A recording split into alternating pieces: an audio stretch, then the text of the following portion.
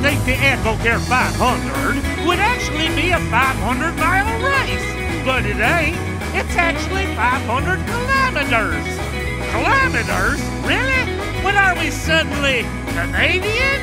Ah, anywho, it's Chase Race 9, a heavyweight smackdown between Jimmie Johnson and Matt Kenseth. Now JJ comes in with a seven-point lead and momentum. He's got four Phoenix wins and 13 top fives.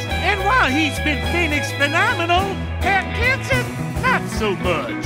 Just three top tens in his last 11 starts, but that ain't now, because this season he's been the best driver on short tracks like Phoenix. Plus, remember last year, JJ came into this race after winning Texas, and his championship chances went down the drain after he smacked the wall. So if Kenseth can just keep close, keep the pressure on JJ, next week will be a doozy. Oh, this week, keep an eye on Kevin Harvick and Carl Edwards. They'll make some noise. I'm Jimmy Joe.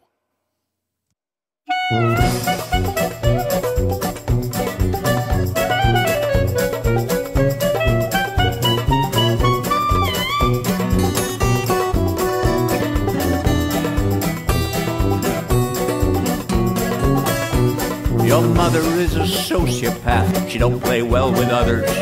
She don't like your little friends nor any of their mothers. When she's in a crowd of people, she don't know what to do.